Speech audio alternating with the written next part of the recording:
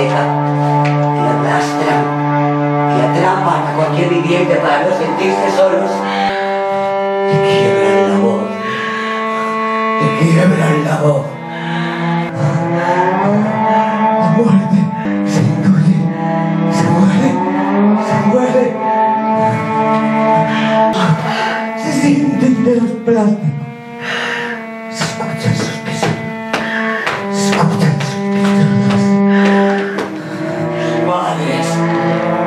Cuando sienten que ya han muerto sus cachorros. Y entre el ritual, el silencio.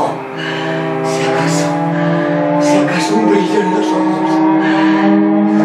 ¡Ya siglos! Que se les acabaron las lágrimas. ¿Cómo algo tan importante puede ser tan frágil?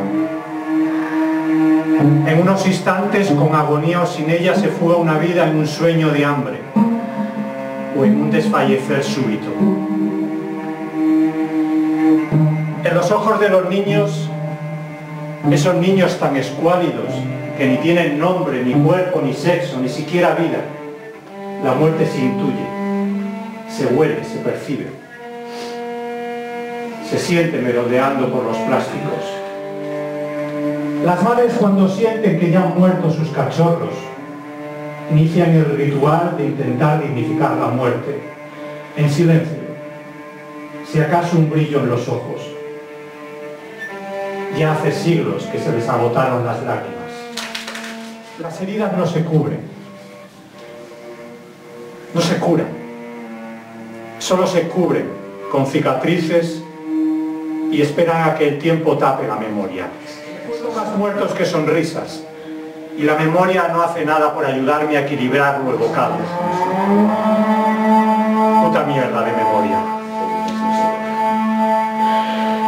De repugnancias, sordideces, partos, cansancios, tripas esparcidas, niños desmembrados, boca pastosa y vómitos fríos de fusil encasquillado, bombas, silbidos de balas, sorderas de explosiones, minas pisadas, muertes, muertes, muertes.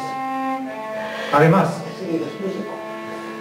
sabíamos que debajo de los adoquines no había arena de playa.